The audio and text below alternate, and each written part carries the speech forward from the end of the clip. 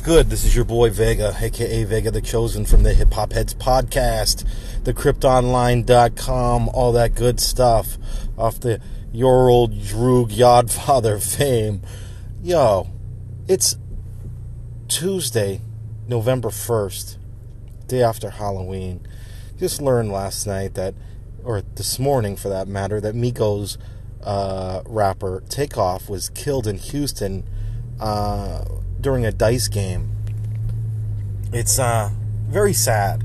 And we talk about this stuff all the time on the show where where things like this happen pretty frequently in hip hop where people are constantly being murdered. Um, it's really fucked up. Um, but you also have to look at these situations um, when you are in these situations, excuse me, that you really need to evaluate what's going on, what you're doing, and if you're in a position uh, like a takeoff or someone on his uh, level of fame and things like this, you really have to be careful of what you're doing. Um, it's just sad, you know. He's at a bowling alley. Things are probably going great. He's having a great night. He goes outside to play some dice with some some folks, and he's killed in front of his his uncle or cousin. Um, I know that the other rappers in Migos are they're all related. Uh, Quavo and Offset and Takeoff, uh, they're all family, and it's just a really sad situation. And you have to, and it sucks that you can't like just to go out and enjoy yourself like that. That you have to watch every move you make uh, and be very careful of who you roll with, who you're around, and um, if you know them or not. It, you just got to be very safe out there.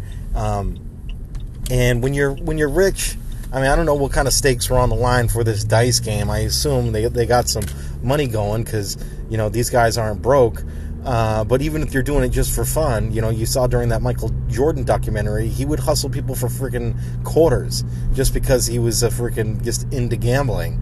So, I mean, if you come against one of these people and you, you whoop their ass and some something, you know, they might uh, get offended and retaliate. And maybe that's what we saw yesterday with this.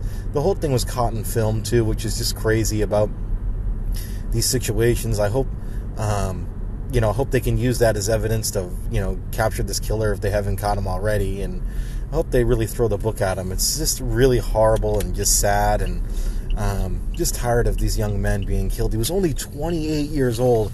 I remember I first covered this guy over uh, over 10 years ago on the website when Migos was still underground before they blew up. And um, it's hard to think that, you know, this guy was a teenager uh, probably when I covered his music, you know, a decade ago. And now he's uh, he's gone. It's really sad.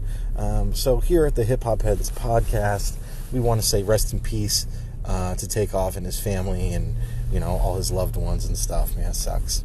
Peace. We'll check you next week.